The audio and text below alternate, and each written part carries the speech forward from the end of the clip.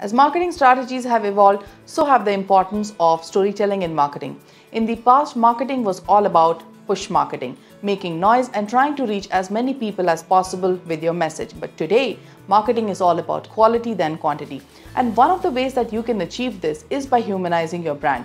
Brands that focus on attraction marketing are more successful because they're able to build relationships with their target audience. And one of the best ways to build relationships is through storytelling.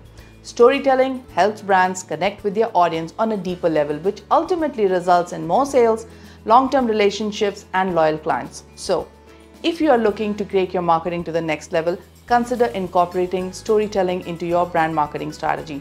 It could be the key to your success. I'm Puja Misra, and you're watching Brand Bites for Business Owners.